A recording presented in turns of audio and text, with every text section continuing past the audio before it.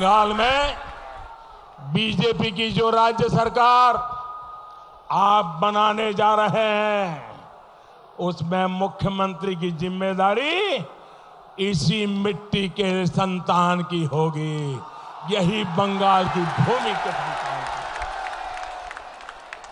साथियों, लोकतंत्र में हार जीत जनता के लिए किए गए सेवा कार्यों से तय होती है।